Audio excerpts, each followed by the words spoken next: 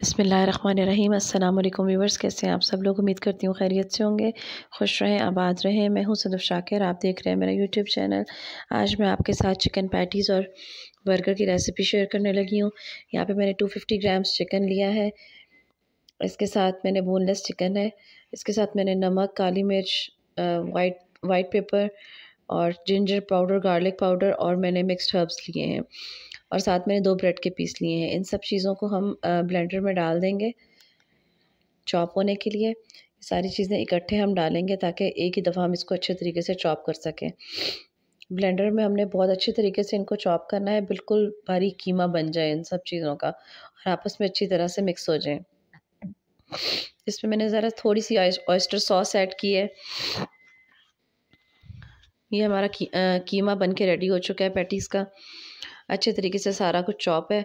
यहाँ पे मैंने एक अंडा लिया है इसमें थोड़ा सा दूध मिक्स करूँगी। इसको हम आ, इसको थोड़ा सा फेंट लेंगे। और यहाँ पे मैंने मैदा लिया है। हमने पहले सबसे पहले पैटीज़ बनानी है। गोल गोल बॉल्स बना के उसके बाद हम साथ साथ पैटीज़ बनाते जाएँगे। सारी पैटीज़ एक ही दफ़ा आप तैयार करके रख लें। फिर एक एक करके आप इनको सबसे पहले हमने मैदे में टिप करना है।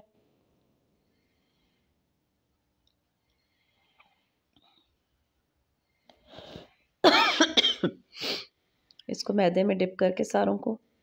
फिर हम इसके बाद अंडे सारा इकट्ठा करके रख लेंगे पहले एक ही दफ़ा।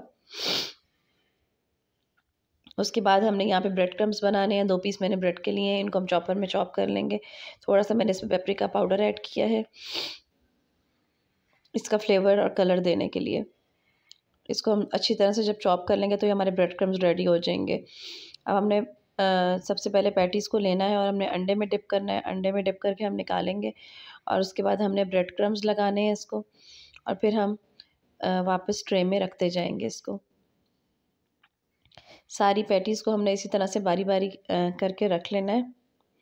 और यहाँ पे मैंने साइड पे ऑयल गर्म होने के लिए रखा हुआ है। जो आपने फ्राई करनी है वो फ्राई कर लें। बाकी है कि आप इनको फ्रीज़ भी कर सकते हैं बाद में बनाने के लिए।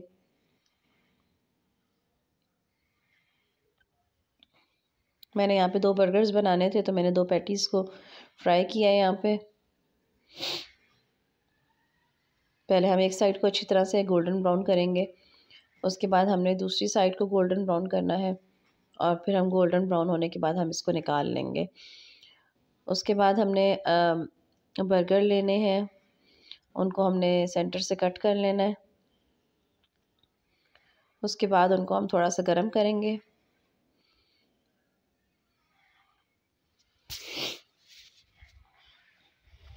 गरम ये दोनों साइड से अच्छी तरह से सेंक के हम बर्गर को साइड पे कर लेंगे। उसके बाद हम उस पर एक साइड पे मायोनीज़ लगाएँगे और एक साइड पे हम केचप लगाएँगे। उन दोनों को स्प्रेड कर देंगे अच्छे तरीके से। एक साइड पे हम बर्गर पैटी रखेंगे ऊपर से और ऊपर से मायोनीज़ वाली साइड को कवर कर देंगे। बहुत ही ज़बरदस्त हमारे बन के रेडी होंगे। टेस्ट भी पैटीज़ का बहुत ज़बरदस्त था। बहुत ही सिंपल और आसान है, बच्चों के लंच बॉक्स में आप दे सकते हैं। इवन अगर शाम के टाइम पे स्नैक्स के स्नैक्स के तौर पे भी आप बच्चों को दे सकते हैं। उम्मीद है आपको रेसिपी पसंद आई होगी। रेसिपी को लाइक करें, चैनल को सब्सक्राइब करें। अपना बहुत सारा ख्याल रखें, मुझे इजाज़त दें। अल्लाह हाफिज़।